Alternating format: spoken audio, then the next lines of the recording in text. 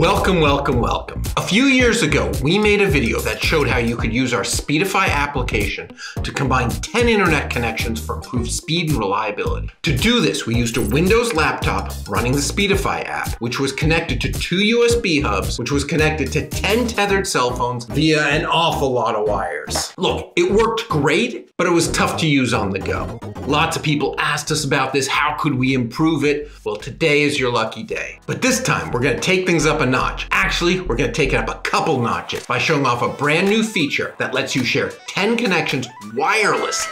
And best of all, it works on any device, even phones. Meet Pair and Share. With Pair and Share, you can easily share cellular connections back and forth between devices on the same local area network. It's like a supercharged personal hotspot, but instead of one device, sharing.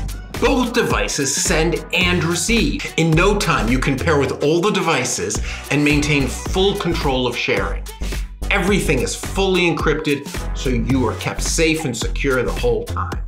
And there you have it 10 connections, zero wires.